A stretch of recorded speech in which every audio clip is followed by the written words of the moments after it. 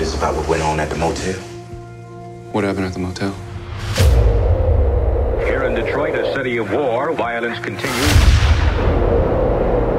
Police was there, state police, and there was a lot of shooting.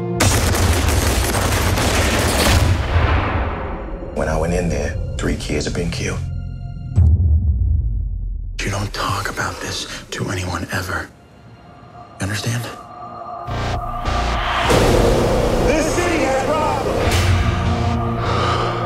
Change is coming. I told you what I saw.